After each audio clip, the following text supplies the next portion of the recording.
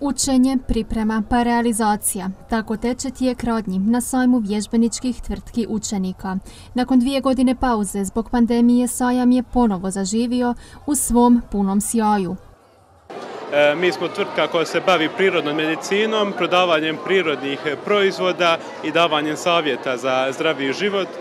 E, na tu ideju smo došli većinom zato jer je to nešto što je trenutno aktualno, što većina ljudi se približava tome da se okane nekakvi e, ne znam, tableta, e, neki su ljudi nesigurni u to, pa bolje je recimo ima cvjetova koje se mogu iskoristiti umjesto toga, čajeva, različitih eteričnih ulja, pa smo došli na tu ideju jer je to industrija koja raste.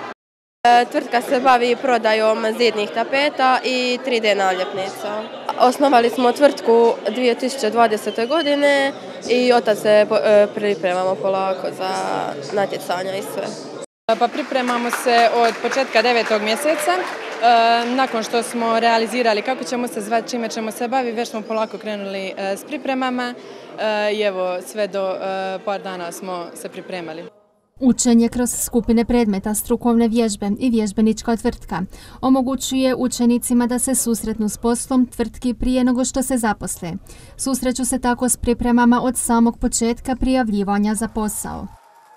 Dakle, od samih intervjua, e, pisanja životopisa, molbi, do ispunjanja ugovora, a za pripremu za sajam e, samostalno izrađuju katalog, sajamsku brošuru, vizitke, akreditacije, letke, jednostavno cijelu tu dekoraciju štanda i timski rad je konstantno primjenjiv, što je danas, vidi se na tržištu rada da je važno, znači znati surađivati u dinamičnom okruženju, a to evo vježbeničke tvrtke i pružaju da dožive tokom školovanja, da budu spremni za tržište rada. Veliki je ovo značaj za buduće ekonomiste i komercijaliste naše županije.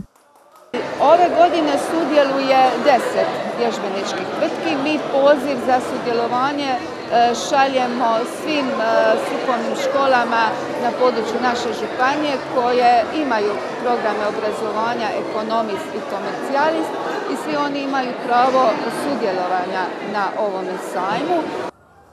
Pa se na ovom šestom poredu sajmu vježbeničkih tvrtki ponovno mogao vidjeti velik broj učenika i profesora koji nisu krili oduševljenje bilo da im je ovo prvo natjecanje ili ne.